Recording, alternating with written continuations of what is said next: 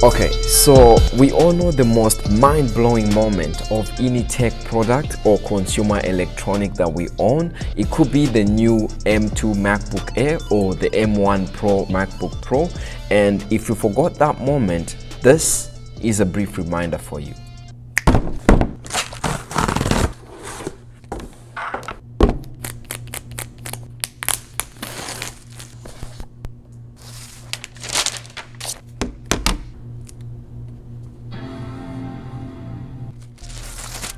Most of the times these machines tend to cost an arm and a leg so we want to be able to utilize them to their full potential and more often than not i actually do see quite a number of people having issues setting up their devices for the first time or underutilizing them. So in this video, I'm going to be showing you the best and fastest way to set up your Mac and some settings that you can sort of play with that will better enhance your user experience and give you the best value for your device.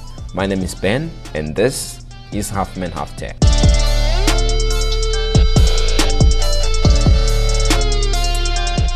So first things first, the first thing that I encourage you to do once you receive your new device is to basically just do a visual inspection. It's really easy and doesn't take a lot of time. Sometimes these devices tend to be scratched or damaged during shipping and it could be something that's internal or that won't work well. So just do a quick visual inspection of your device, turn it upside down and sometimes it's good to test out the ports to make sure that they are working properly and also the accessories that came in the box with the device. It's always good to find this out sooner than later.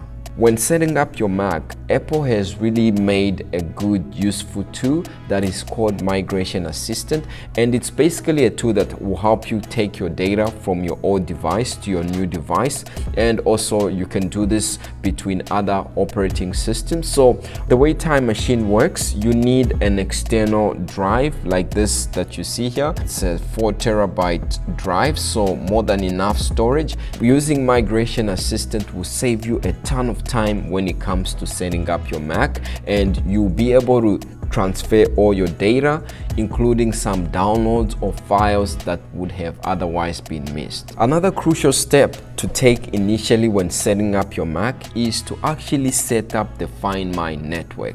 This is a simple step that's overlooked by most people and you never realize how important this step is until you get to like a situation where you need to find your device. So I do highly encourage you to turn on Find My network or find my device once you set up your Mac for the first time. And also on the find my section another pro tip i would like to let you know of is to always write down the model and serial number of your devices elsewhere not stored in that actual device because if it does get lost and you can't find your serial or model number you can always reference that note and it goes a long way in protecting your device and giving you that peace of mind so finally, you've passed the setup section of the Mac and it's booted up. So the first thing that I highly advise you do once you reach this stage is to go into your system preferences and perform a software update. Now, most of the times, the software or operating system that ships with the Mac isn't the one that's current. So it means that there's most probably an update that's going to be available for you that's going to provide security and stability updates and sometimes new features and changes. And to add to that it's sometimes not just the software update itself but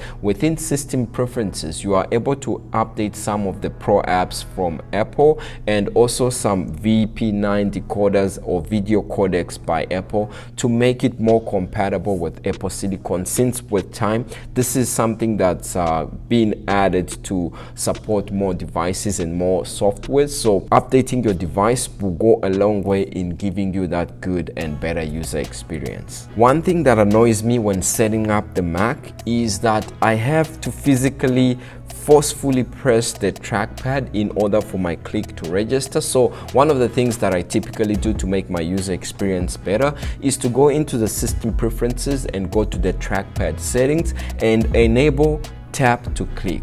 This means I can just tap using my finger and I don't have to forcefully press down on the trackpad in order for me to click. And also I do tend to change the cursor speed because I find that the one that ships by default with macOS tends to be slow and just customize the cursor better because in a sense your cursor or your finger is going to be the most common way that you're going to interact with your Mac so just make it a good user experience and make it better for yourself.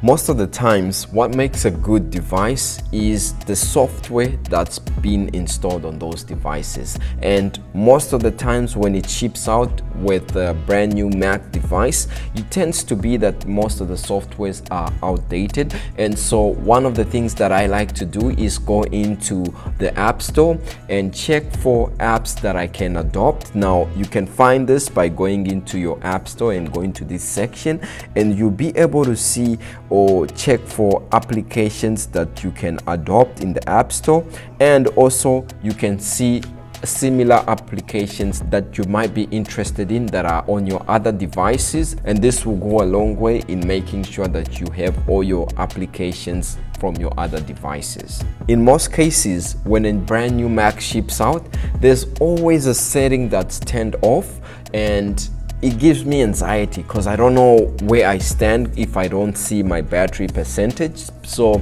another thing that could better enhance your user experience is to go into the system preferences and go into your menu bar settings and enable the battery setting. This is one of those first things that I typically turn on as I always like to glance in the top right corner of my Mac so that I know where I stand and if I'm planning something later on, I'll be able to tell if I'll have enough juice or charge by then. So it's also something that you could always turn on to enhance your experience. While we're still on that topic of battery and percentage, it's always good practice to use the devices that come within the box of your Mac to charge your devices. So most of the times if you look on other websites like Wish or like Amazon or Walmart and so on, you'll be able to find that there's tempting and better looking accessories and peripheral devices for your Mac. But most of the times the charger is one of the most important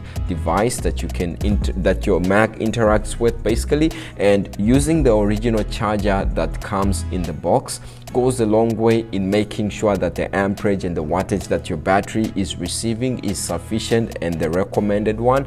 And using a cheap knockoff one sometimes will degrade your maximum battery health capacity. So if you do look into other options do look at reputable products like Logitech or other higher premium devices and companies. Or you can also look at Apple's website as they have a, a, device where you can also select other peripheral devices or accessories for your Mac.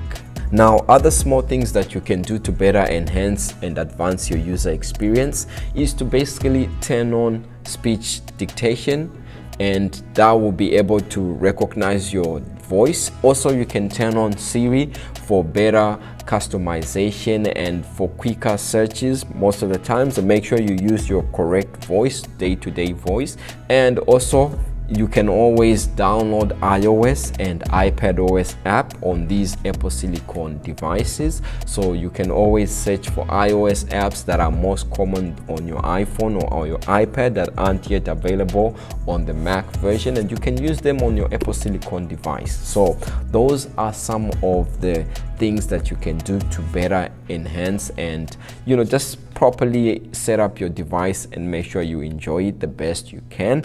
Now there are some applications that also you know these are like sort of software monitoring and device monitoring applications that i would like to put out there.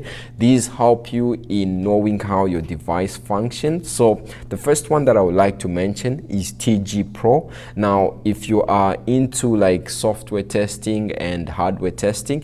This is one that you are most probably familiar with. So TG Pro allows you to monitor the different facets of your hardware. You can see temperatures of your GPUs, temperatures of your CPUs, the CPU utilization, the fan speed, and so on. And another application I would like to put out there is Blackmagic. Blackmagic basically deals with your internal and external SSDs if you want to test them and see the read and write speed. And these are some of those, you know, geek apps that you can always use to better understand and see how your app or your device works compared to the specified specification that are mentioned by Apple and see if in real world or in real world application this is so. So those are some of the apps. Clean My Mac X is also another good app that you can use to clean some of the junk and manage your storage better. So if you have an Intel, if you have an M1, if you have an M2, if you have an M1X or M1 Pro, you can always check those out and let me know your feedback in the comment section below. Other than that guys that's just a brief you know overview of the first things to do when you get your new device so that you can best utilize and get the best value for your device. Because these devices they're not cheap. So stay safe guys and enjoy your new device and i'll see you in the next video. Peace